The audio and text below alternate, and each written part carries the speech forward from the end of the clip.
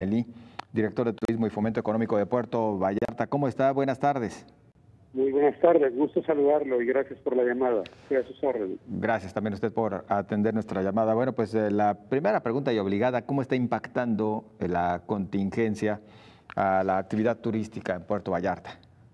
Muy fuerte, desgraciadamente. El día de hoy amanecimos ya con el 15%, ya dos hoteles cerraron eh, y esto pues es preocupante. Afortunadamente todo el mundo estamos conscientes de la responsabilidad de tener mucho cuidado, sobre todo los lineamientos que nos marca el sector salud. Y bueno, ahí estamos eh, apoyando en todo lo que tenga que ver con información y atención a los turistas para que tomen también sus medidas y todas las precauciones necesarias. 15% de ocupación hotelera actualmente, doctor. Así es, 15%. Desgraciadamente eh, teníamos muchos años sin sin que esto nos pasara, ¿verdad? Pero bueno, es una contingencia que tenemos que asumir con toda responsabilidad. Venían de promedios que no bajaban del 60%, si no me equivoco. Así es, no, nunca habíamos bajado ya desde hace año y medio, dos años para ser precisos, nunca bajaba nuestra ocupación del 73, 74%. Eh, hemos sido punteros a nivel nacional de acuerdo desde luego al tamaño de nuestra oferta, inclusive arriba que Cancún, claro que arriba de los cabos y de otros destinos, eh, de acuerdo, claro, al tamaño de la oferta, porque Cancún tiene mucho más oferta turística nosotros, junto con la Riviera Maya. Pero Puerto Vallarta eh, habíamos permanecido como líderes en ocupación ya desde los últimos años.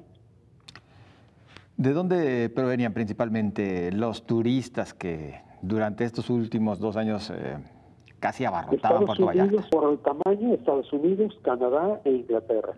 Y teníamos mucho europeo. También empezaron con los vuelos de Copa. De Panamá empezamos a recibir muy buen muy buena corriente de Centro y Sudamérica, principalmente Sudamérica, Colombia y Venezuela, perdón, Colombia y Argentina. ¿El turismo nacional qué representa para Puerto Vallarta, doctor? Una gran cantidad. Mire, por dar un ejemplo, el año pasado recibimos 5 millones, casi 500, eran 480 mil turistas. De esos 5 millones recibimos 3 millones 200 mil de extranjeros y el resto nacionales. O sea que ya en estos últimos dos años se ha balanceado mucho porque hubo una baja y tuvimos el turismo nacional mucho, en mayor proporción que el extranjero. Ya el año pasado, el antepasado y pasado, estuvimos cerrando casi a la, a la a la paz. Esto pues nos da muy, mucho aliento porque lo que requiere más el país son divisas.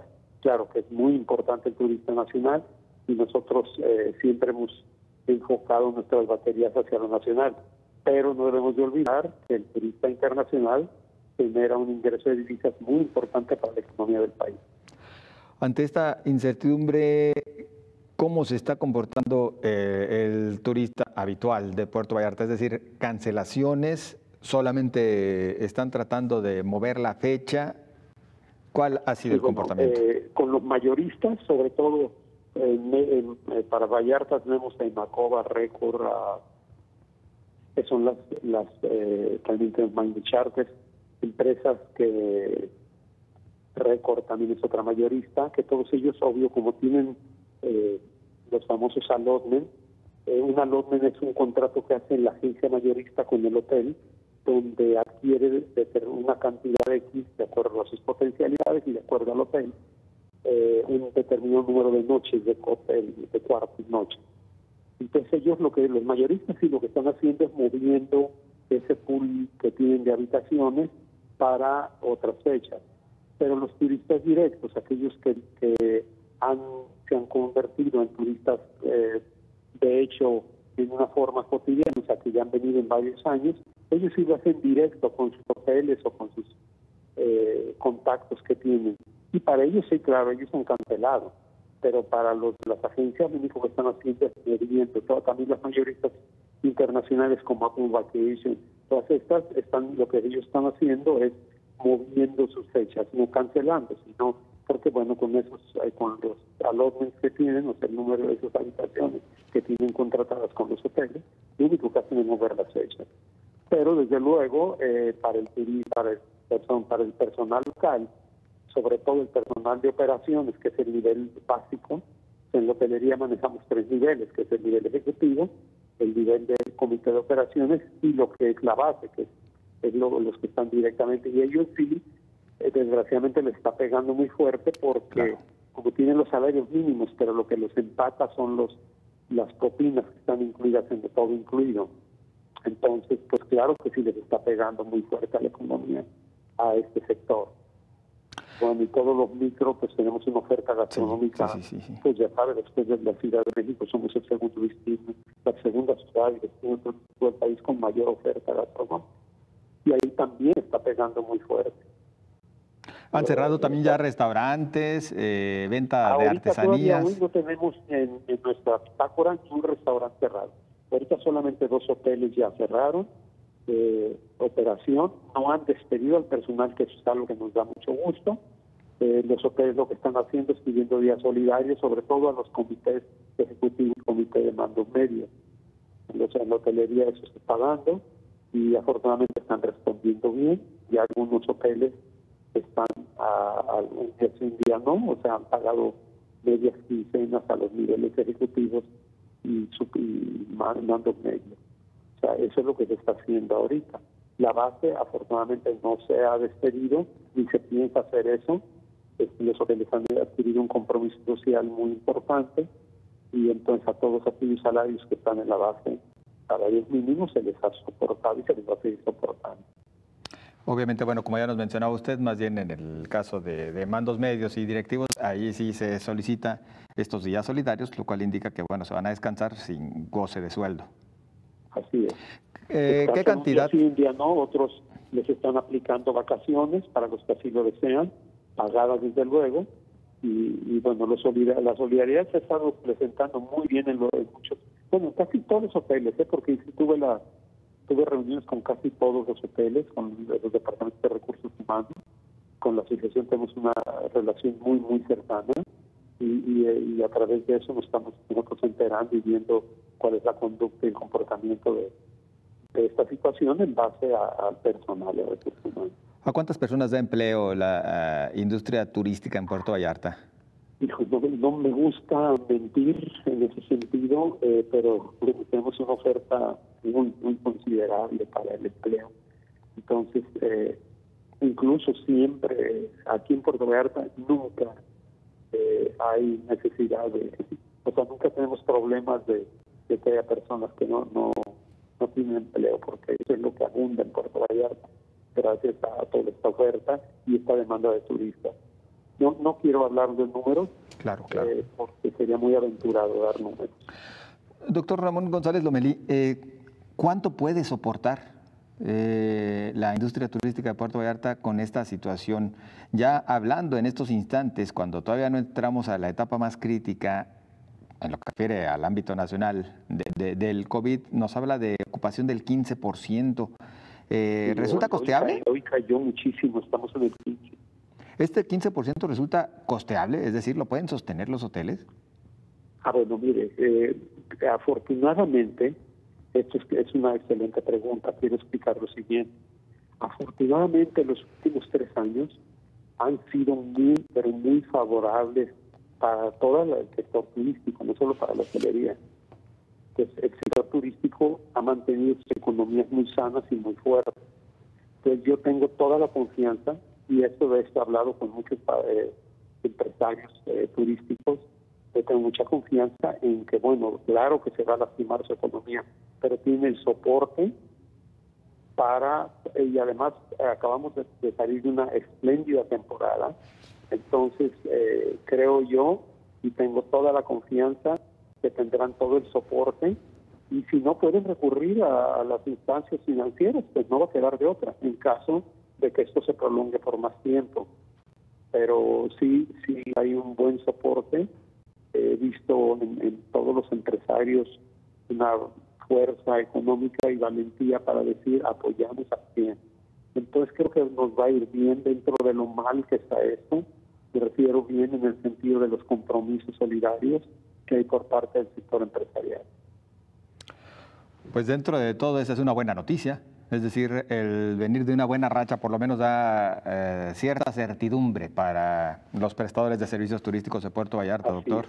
Bueno, pues... lo que tenemos que estar muy atentos es el personal base. Claro. Porque ellos son los que desgraciadamente más les pega estas cosas, eh, ni por las, por las propinas y porque, bueno, los salarios, eh, por más que se han ajustado y todo, todos no, no permiten así como que una libertad económica muy buena bajo el esquema de quitar las propinas. Claro. Las propinas son los que hacían o hacen el destino, sobre todo para el personal base un, un factor importantísimo. Doctor González, en menos de un minuto, eh, ¿qué les dicen ustedes las autoridades sanitarias? Eh, ¿Se va a poder seguir operando? ¿Se tendrá que suspender en su momento, en su totalidad, el servicio? ¿Qué es lo que les comentan? Bueno, hasta ahora no, no solo nos han pedido, bueno, nosotros y todo esto lo que marcó el gobernador, que me pareció espléndido y muy, muy atinado, porque fue muy buen tiempo que hizo eso. Eh, en cuanto a los el área de alimentos y bebidas y el área de hospedaje, sean, lo que se ha estado haciendo es controlando las aglomeraciones, este con esta ocupación menos, pero se va a persistir, se va a persistir en seguir dando el servicio para todos aquellos que se aventuren, ¿verdad? A decir que eh, nos está llegando turistas, aunque en baja escala, pero están registrándose a un ingreso de turistas, incluso extranjeros. ¿eh? Entonces, bueno, sí, la idea es, dentro de todas las medidas y de todas las protecciones que se puedan hacer, seguir proporcionando los servicios y esperemos que ya no se cierre ningún otro hotel, aunque la la situación esté eh, bueno, tan difícil. Esperemos que no en estos días, bueno, se estabilice, ese es nuestro deseo, ¿verdad? Pero ahorita solo es hay buenos deseos y pidiendo que no, que esto, todo el mundo tome sus medidas, que todo el mundo sea precavido, que le den seriedad al asunto, que no estamos, porque luego a veces se percibe así como que ah, no pasa nada, y ese no pasa nada puede llegarnos a afectar tremendamente. Nuestro alcalde está muy atento, eh, a, muy comprometido, entonces esto nos da un muy buen alivio porque lo escuchamos todo el tiempo y nos está dando las direcciones, preocupado para que todo el mundo estemos eh, apoyando y vigilando que estén cumpliendo todos los requerimientos que marca la, la, la Secretaría, tanto de Turismo como de Salud. Doctor, nada más, de los dos hoteles que ya de momento optaron por cerrar sus puertas, ¿de qué tamaño son? Pues mire, eh, de muy buen tamaño, ¿sí? De muy buen tamaño. Eh, uno de tres estrellas y el otro de cinco estrellas. Pero no han, no han quitado a su personal, eso le quiero decir, ¿eh? Sí, sí, sí. Eso o sea, el personal base está ahí. Me refiero en que ya no es eh, por cuestiones de, de reservas y de clientes, pues no les queda otra. No es tanto que, que corrieron al personal, aclaro esto. Exacto. Pues ellos siguen manteniendo y todo, ¿eh? Están aprovechando para dar mantenimientos, a muchos descansos y todo. Bien.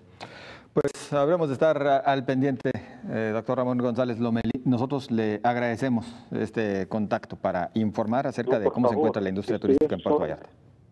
Y, y, yo encantado. Y lo que quiero decirles es que ahorita todo lo que haciendo nosotros, todo el sector turístico, vamos a tener reuniones, no más que pases días de peligro, pues, de acuerdo a las indicaciones que nos dan, tener reuniones para ver todas las estrategias, porque tenemos que salir con un contraataque tremendo de promoción y muy agresivo para atraer de nuevo turistas y volvernos a ocupar, a ocupar los lugares en los que estábamos, más arriba, porque Puerto Vallarta afortunadamente se ha distinguido a nivel nacional por su alta ocupación y por su alto servicio y la alta, alta calidad humana de todos los que acá vivimos. Después tenemos que lanzar una campaña muy fuerte en cuanto termine esto para volver a retomar el rumbo y, lograr ser exitosos. Esa es la indicación muy precisa de nuestro alcalde. Pues vamos a todos a meter nuestro sector. Y conociendo el cariño que se tiene a Puerto Vallarta, seguramente el turista, en cuanto sepa que se puede regresar, responderá favorablemente. Doctor, muchísimas gracias. Yo estoy seguro de ello, yo estoy seguro de ello. Tenemos, tiene un encanto este pueblo, que somos muy mexicanos y con todas las características tan especiales que tenemos, estoy seguro que nos vamos a restablecer tan pronto pase Coincidimos en ello. Muy amable. lo mejor. ¿eh? Muchísimas gracias por la atención de la llamada. Gracias a usted.